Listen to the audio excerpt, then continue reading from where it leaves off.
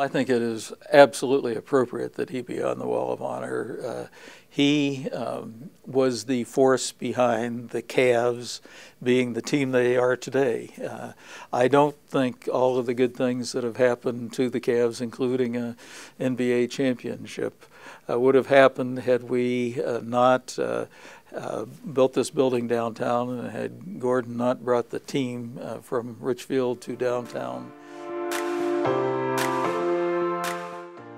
Played a, uh, an amazingly important role in the uh, fact that these buildings are architecturally iconic for uh, downtown. Gordon Gund saved this team. You know, because of Mr. Gund, the team is still here.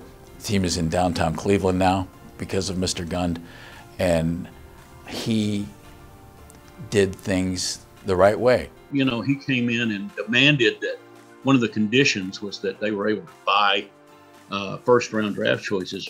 In the 1986 NBA draft, the Cleveland Cavaliers select Brad Daugherty, the University of North Carolina.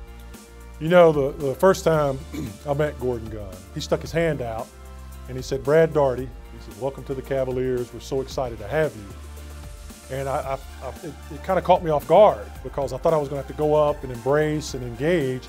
And he lit right into my basketball at North Carolina, playing for Dean Smith, and all those types of things, and just just said a lot of wonderful things about the journey we were going to go on together. And, and right away, I knew I was talking to someone that, that had a great grasp of everything going on around him.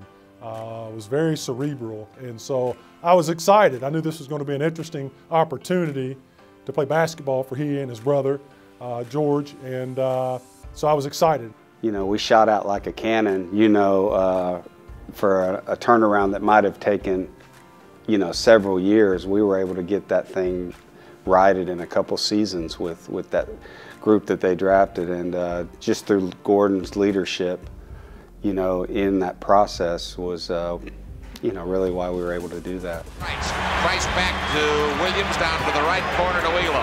On the right wing, Price for three, got it! He literally would would sit out in the crowd during the games and he'd have headphones on, you know, listening to uh, to, to Joe Tait call the call the games on the radio. And and I remember him being interviewed one time and, and somebody was asking him just through his, his senses and listening and uh, to the games to describe you know all of the players. And it was just amazing. Like he he pretty much you know hit it on a tee with every guy you know just through his ability to, to listen and how they played and, and uh, every conversation I had to him, I was just, you know, really amazed at, at, what he was able to accomplish with, with having a disability like that. It was not my line. I wish it had been, but someone, it might have been Mike Weaver in New York, wrote that, you know, uh, Mr. Gund had retinitis pigmentosa and was all but blind, but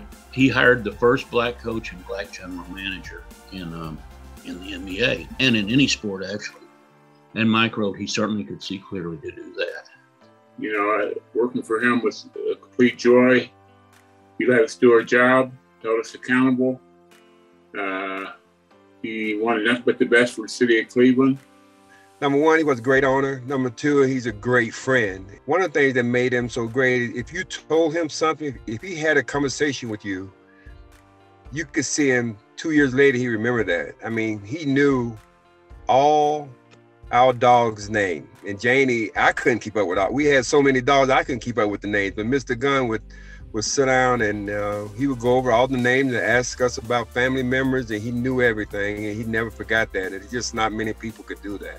You know, he was just an inspiration. He was very much part of the growth of Cleveland and the rebirth of Cleveland in the '80s, and. Uh, he supported many charitable organizations, and you know I think we all should be forever grateful.